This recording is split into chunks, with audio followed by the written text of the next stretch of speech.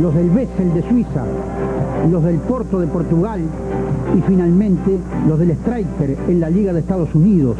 Pero él iba y venía, hacía goles y regresaba para acercarse a Matute y tomar impulso y continuar la lucha futbolística bajo otros cielos.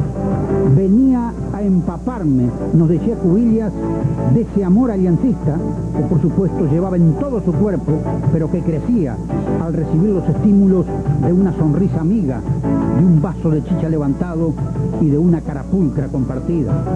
Salió de Puente Piedra con una hilera de dientes blancos parejos que amenazaban con sacarle el bocado de la fortuna a la redondez de una pelota y lo logró. El mundo le dio lustre y la condición de señor se hizo sola. Teófilo es el quinto anotador en la historia de los mundiales, con 10 goles marcados, primero en México 70, uno Bulgaria, dos a Marruecos, uno a Alemania y un quinto a Brasil. Y la cuenta se amplió en Argentina 78, dos a Escocia y tres a Irán, 10 a solo cuatro del récord absoluto del alemán Herr Müller, el líder, con 14. De todos, queda uno ante Escocia que subraya la calidad excepcional del ejecutante.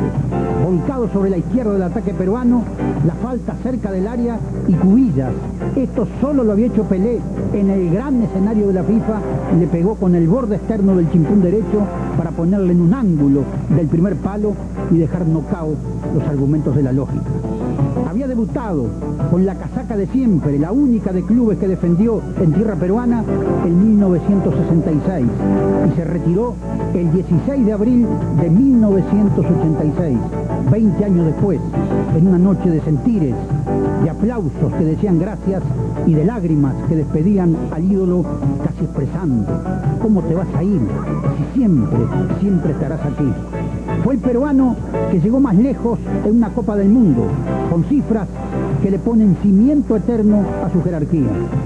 Vino de Puente Piedra, recibió la transfusión blanquiazul en Matute, que aunque el presente del club no ande en buenas migas con los resultados positivos, pensando en él, la vieja canción sale sola. Se va el Alianza, se va para campeón y queda, señores, en primer plano la imagen redonda de Teófilo Jubilias Arizaga.